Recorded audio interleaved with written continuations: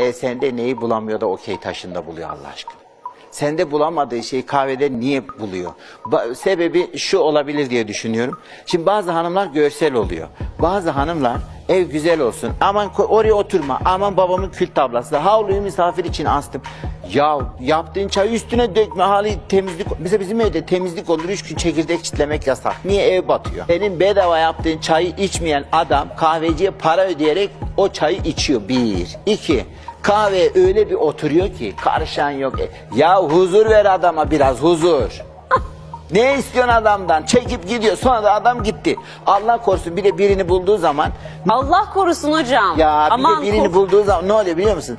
Banyoyu ıslatma. Ben vakit bunu duydum ya. Ya banyo nasıl ıslanmaz? Havluyu misafire astım. Kül tablası babamın. Adam da gidiyor bir, bir tane buluyor işte. İşte ne diyor? Al sana en iyi kül tablası. Bu havluyu senin için astım. Sözün maksadını aşmasın. Bir de diyor ki gel banyoyu beraber ıslatalım.